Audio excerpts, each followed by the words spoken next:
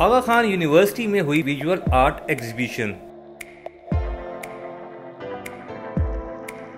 Humanity and social sciences जो है, वो मेडिकल स्टडीज़ से जो इनकी स्टार्ट होती है, जो फाइव ईयर एमबीबीएस प्रोग्राम होता है, उससे जब फ्रेश इनटेक होता है, उससे पहले इनको ह्यूमैनिटी एंड सोशल साइंसेज का मॉड्यूल कराया जाता है, जिसमें ये लोग photography film making calligraphy arts और परफॉर्मिंग आर्ट्स म्यूज़िक ये सब चीज़ें सीखते हैं।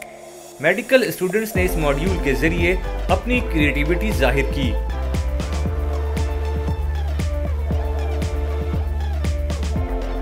डिफरेंट स्टाइल के पोर्ट्रेट्स और नेचर पर स्टूडेंट्स ने आर्ट वर्क किया।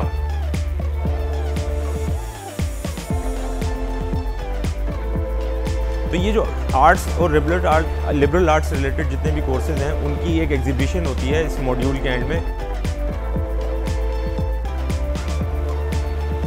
सिंस ये मेडिकल फ़ील्ड से रिलेटेड है तो नेचर में थोड़ा सा मैं एडवांस लेवल पे इनको ले जाता हूँ, जिसमें मैक्रो फोटोग्राफी होती है, जो छोटे छोटे जो आपके फ्लावर्स हो गए पेटल्स हो गए ग्रास का टेक्सचर हो गया वुड का बार्क का ट्री बार्क का टेक्सचर हो गया तो उनकी मैक्रो फोटोग्राफी करके ये फर्दर अपने स्टडीज़ में उसको मेडिकल स्टडीज़ में उसको एज ए सब्जेक्ट लेके उसको स्टडी के तौर पे भी इस्तेमाल कर सकते हैं। आर्ट की वैरायटी के साथ यहाँ वाटर कलर पेंटिंग और स्केचेस भी थे।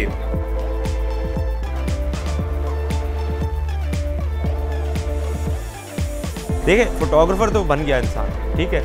अब एक डॉक्टर फोटोग्राफर बन जाए तो क्या ज़बरदस्त बात हो जाएगी? फोटोग्राफी एक स्किल है, ठीक है? इसी तरह फ़िल्म मेकिंग एक स्किल है। वो अगर किसी स्पेशलाइज फ़ील्ड के पर्सनल के अंदर ये स्किल आ जाए तो वो एड ऑन है उसके फ़ील्ड का। इस मॉड्यूल के ज़रिए मेडिकल स्टूडेंट्स को क्रिएटिव अंदाज में सोचने में मदद मिलेगी।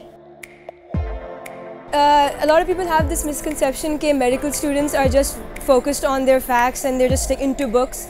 By doing the HAS model, you're inculcating this humane aspect through studying, of, studying humanities at school. You get to exp ex uh, experience so many different things and you learn lots of new ideas, different ways to look at things outside of the very factual way that medical students are known to do things.